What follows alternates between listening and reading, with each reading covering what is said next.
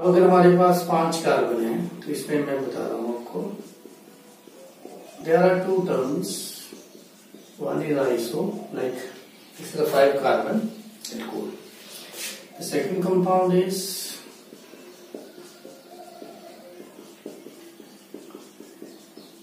is like this and third compound is like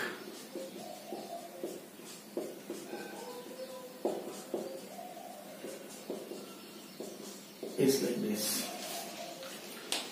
All the all are isomers because all have a same number of carbon, hydrogen and oxygen. These are isomers.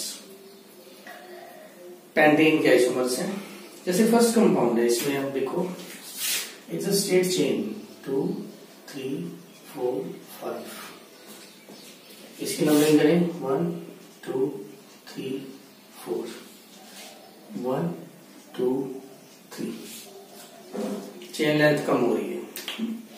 First है जो उसका आजीवन name होगा pentane one ol common name होगा उसका normal pentyl alcohol okay इसका common name क्या आयुर्वेद नेम क्या होगा? Three methyl butane one ol common name क्या होगा? इसको बोलेंगे आइसो पेंटाइल एल्कोहल इसका आयुर्वेद नेम क्या होगा? This this two two dimethyl propane one ol और इसका जो कॉमन नेम है that is neo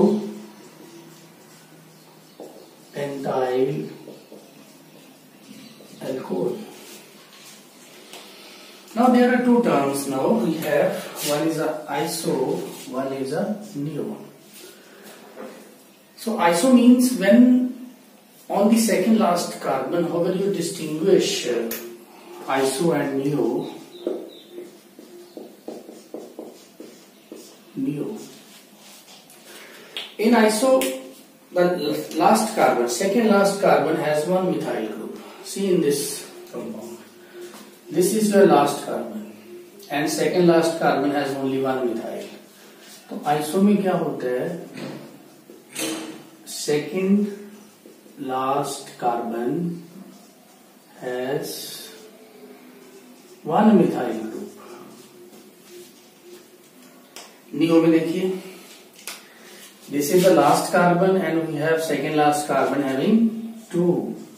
So second last carbon has two methyl groups. That is the difference. This is the way or you can distinguish this iso and neo. Iso means second last. Second last किससे लेना है? जो आपका functional group है। Functional group से जो last carbon है fourth उससे पहले वाला सेकेंड लास्ट अगर उस पर एक मिथाइल ग्रुप है तो आइसो होगा। दो मिथाइल ग्रुप है तो वो नियो होगा। तो ये नॉमन हमारी पेंटेन की होगी।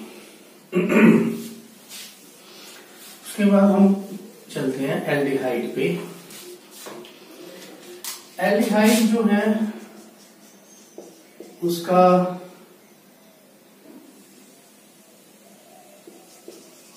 सुफिक्स अल था। कॉमन नेम में देखिए। फ़र्स्ट मेंबर इसका है H C double bond O H जिसका आयुपैक नेम था मिथेनल। एक ही कार्बन है तो मिथेनल। सेकेंड जो इसका कंपाउंड था, वो था एक साइड पे कार्बन इसका आयुपैक नेम था इथेनल कॉमन नेम में हम फॉर्मा वर्ड यूज़ करते हैं। जैसे मान लो इसी को मैं कंपेयर कर रहा हूँ अब। मैं इसके साथ ही एसिड ले रहा हूँ। कार्बोक्सिलिक एसिड जिसका सुफिक्स था कोई एसिड ऐसे ही दो, जैसे ये एक कार्बन वाला है तो एक कार्बन वाला है।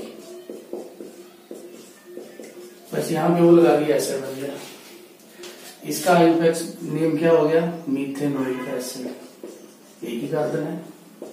ओइक एसिड, इसका सुफिक्स हो गया। इससे रिलेटिवली भी ले सकते हैं, यहाँ पे वो लगा दो तो ये बन जाएगा सी एच थ्री इसका यूपैक नेम हो गया हमारा इथेनोइक एसिड। इसको हम होमोलॉगिस सीरीज़ भी बोलते हैं।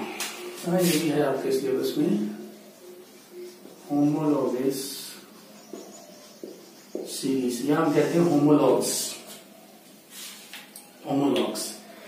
होमोलॉग्स में क्या डिफरेंस होता है? There is a difference of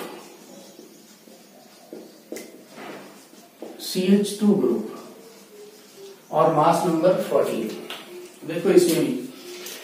इसका अगर फार्मूला देखा जाए तो ये बन जाता है हमारा सी एच टू ओ इसका देखा जाए तो ये बन जाएगा C two H four O दोनों में क्या ऐड हुआ? एक कार्बन दो हाइड्रोजन तो when you change into it. What is added here? CH2 so, these are homologous. इसका फॉर्मूला देखो। इसका फॉर्मूला है, अगर हम देखें तो एच सी ओ सॉरी चलो ऐसे लिख देते हैं। C H two O B two ना? C H two O two इसका देखिए सी टू एच कितने इसमें? फोर ओ टू देखो क्या ऐड हुआ है? सी एच टू तो किसी भी फंक्शनल ग्रुप में जाओगे alkane alkene alkyne aldehyde ketone किसी में भी जाओगे तो दो कंजक्टिव जो कंपाउंड है, उनमें डिफरेंस सी एच टू का ही होगा। इसी को बोलते हैं होमोलॉगिस सीरीज़ अब कॉमन नेम किया जाए।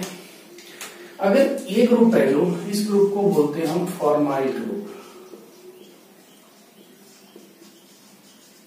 और इस ग्रुप को बोलते हैं एसिटाइल ग्रुप कॉमन नेम इसी के पे होते हैं। अब लाइक इसका कॉमन नेम हो जाएगा फॉर्मालिहाइड कॉमन फॉर्मा एल्डिहाइड इसका हो जाएगा फॉर्मिक एसिड इसमें एसिटाइल है तो इसका हो जाएगा एस्टाइलडिहाइड और इसका हो जाएगा एस्टिक एसिड क्योंकि इसमें एसिटाइल ग्रुप है तो एस्टिक फॉर्माइल ग्रुप है तो फॉर्मिक इनिशियल वर्ड फॉर्मिक और एस्टिक वो हम इसी ग्रुप के हिसाब से लगाते हैं. Like aldehyde and acids next is ketone with the suffix on. Ketone with one carbon or two carbon are not possible. So the functional group ketone that directly starts from the three carbon atom. Because C double bond O के दोनों side पे हमें C चाहिए तो it's आइसोट name is propane propanone भी लिख सकते हैं and its common name. As we can see that uh, in this compound, and there is a C double bond O, C CH3 C double bond O group is there. Okay, so this one. So this group is acetyl. So common name of this compound is acetone. Okay. Next category of compound is acid chloride or amide. Acid chloride में first compound is this.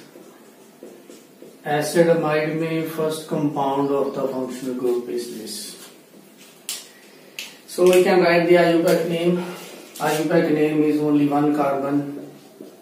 So this is methanoyl chloride. There is a space between methyl and chloride. अगर bromine होता तो bromide इसका नाम इसमें भी एक ही का एक ही कार्बन है तो methane amide okay now you can see the formyl group in this and in this also.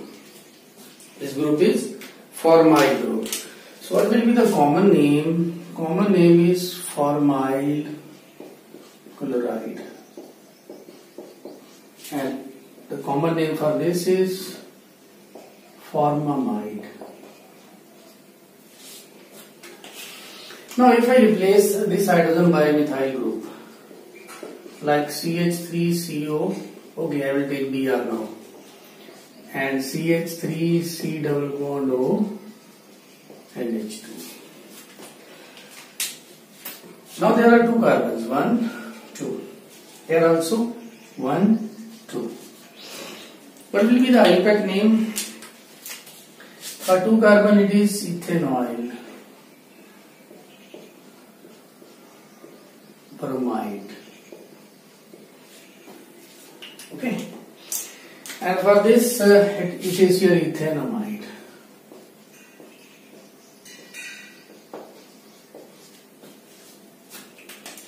What will be a common name? Now see which group is there? Acetyl. Which group is there? The acetyl. Okay. When there is acetyl, you use aceto, acetone, on. Now we have acetyl bromide.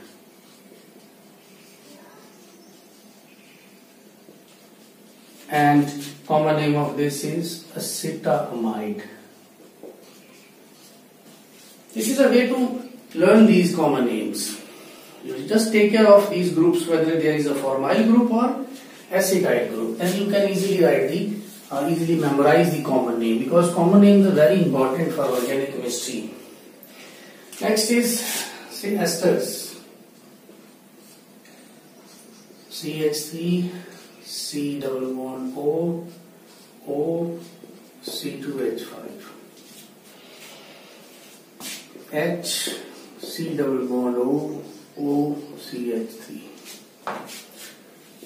H C double bond O O C2H5 CH3 C double bond O O CH3 so here are four esters first we write the IUPAC name there are two carbon ethyl group is there. So it is ethyl ethanoate oh suffix of ester is oate there is one carbon only. Methyl group is there. Methyl methanoate there is ethyl and one carbon only so this is your ethyl methanoate there are two carbons and here is methyl you can write methyl ethanoate so these are the IUPAC names now come to common names common names में क्या लिखेंगे this ethyl is as it is ethyl. We have an acetyl group, so you will write acetate, ethyl acetate, common name. This methyl as it is, this group is formate, write formate. This group is as it is, and we have a formate group to write formate. This group is as it is and we have an acetyl group to write acetate. So this is about the ester.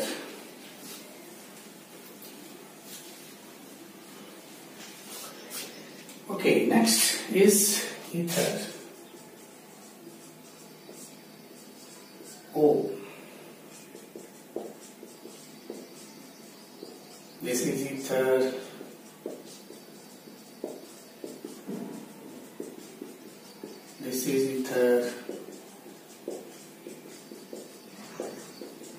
This is ether.